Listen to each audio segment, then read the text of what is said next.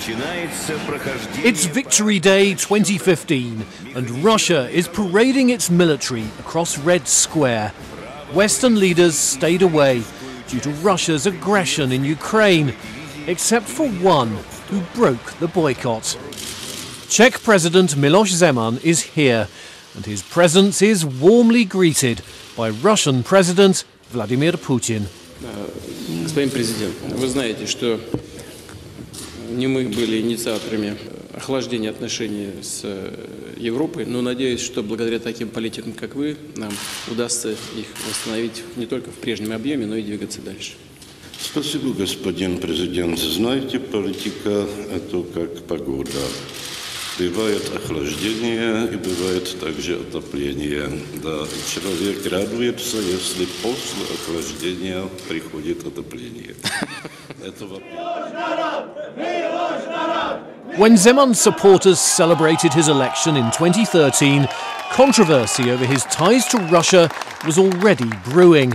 There were allegations his campaign was partly bankrolled by businessmen with links to the Kremlin. Lidí, kteří jsou nějakým způsobem navázáni na ruské okolí a na ruské finance, těch je v tom Zemanově soukolí hodně. Čili ten motiv, proč se kamarádit nebo přátelit, nebo proč být v určitém smyslu i devotní, by se dalo říct, nebo servilní vůči Rusku, je, že zatím je velmi jasně skrytý finanční zájem. These claims of financially driven Russian influence have never been proven, and the President's office didn't grant our request for an interview. But the Russia issue was soon overshadowed when Czech media said Zeman appeared to be drunk while viewing the country's crown jewels. His office said he was suffering from a virus. But placards recalled the incident the following year when thousands of Czechs joined protests against Zeman. Other demonstrators called on him not to make deals with Putin after he'd criticised Western economic sanctions on Russia over its aggression in Ukraine.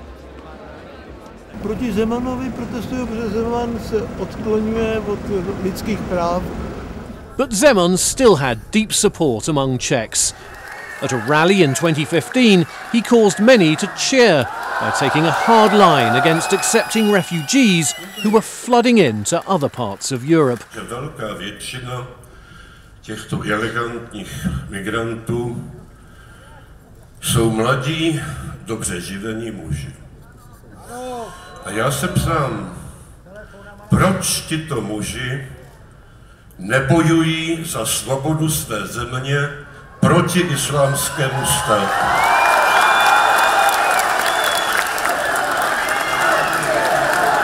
Zeman's supporters often see him as a forthright politician, not afraid to cause offence by speaking his mind, and not unlike Donald Trump, whom Zeman has warmly praised. These characteristics were again on display at an event in Strasbourg in October 2017, when he described Russia's annexation of Crimea as something Ukraine should accept.